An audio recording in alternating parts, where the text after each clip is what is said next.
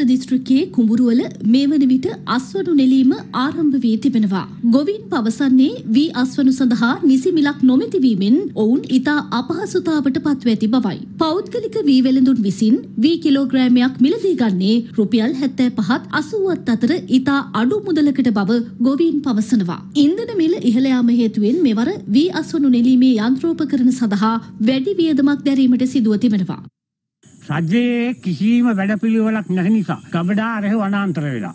මේ ගබඩා තියෙන්නේ මේ බලුකෝකු හදන්නද? අපේ ගොයන් ටික කැපෙන්නකොටම මිල කීයද? 80යි 75යි. ඔය මිලට වීදිලා පුළුවන් ද පෝරොන්ඩරේ කීයට ගත්ත තෙල් බෝතලේ ගත්ත කීයටද? ඒතර වැඩ කරන මිනිහෙකුට 2500ක් දෙන්න ඕන. රටේ තියෙන ඉදි කට්ටේ ඉඳලා ගණන් ගේන්න තියෙනවා. කට තුනක්.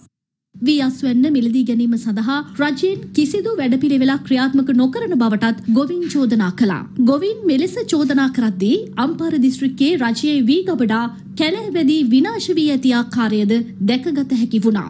ගොවින් පවසන්නේ රජයේ වී ගබඩා විවෘත කර වී මිලදී ගන්නේ නම් පෞද්ගලික වෙළඳුන්ට අඩු මුදලට තම අස්වැන්න ලබා දීමට සිදු නොවන බවයි.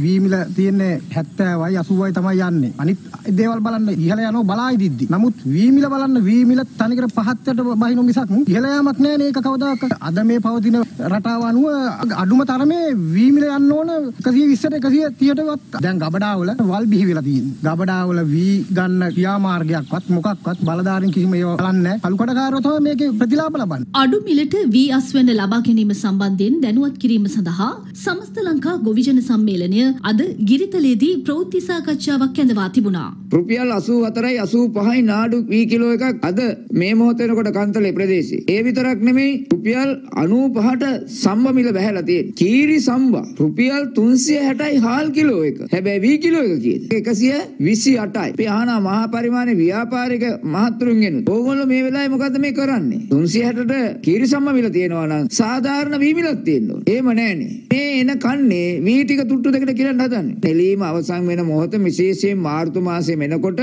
සම්පූර්ණ මේ රටේ වී මිල මේ යන විදියට රුපියල් 50ට 60ට යන්නත් ඉඩකඩ තියෙනවා.